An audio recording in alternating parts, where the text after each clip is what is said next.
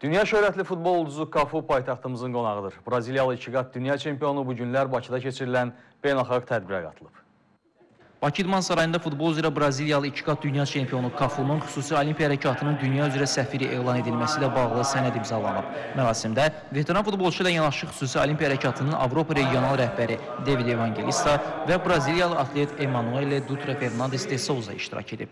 Evangelista çıxışında gənc liderlərin 20-ci qlobal forumunun Bakıda təşkilinə görə Gənclər və İdman naziri Azad Rəhimova təşəkkür etməklə başlayıb. Bu gün Kafu və Emanueleni burada görmək çox xoşdur. Onun kimi tanınmış futbolçu bizim səfirimiz olacaq. Bundan sonra da əhatə dairəmizi genişləndirməyə çalışacağıq. Daha sonra Kafu və Evangelista əməkdaşlıq müqaviləsi imzalayıb. Kafu bildirib ki, Bakıya ilk səfərində bu cür tədbirdə iştirak etmək onun üçün çox xoşdur.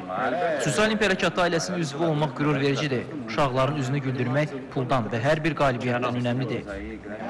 Qeyd edək ki, Kafu 1989-2006-cı illərdə Braziliya millisində çıxış edib. 48 yaşlı sabiq cinah müdafiəçisi karyerası ərzində vətənində São Paulo, Palmeiras, İspaniyanın Saragossa, İtaliyanın Roma və Milan klublarının formasını geyinib. O 1994 və 2002-ci il dünya Talip idi.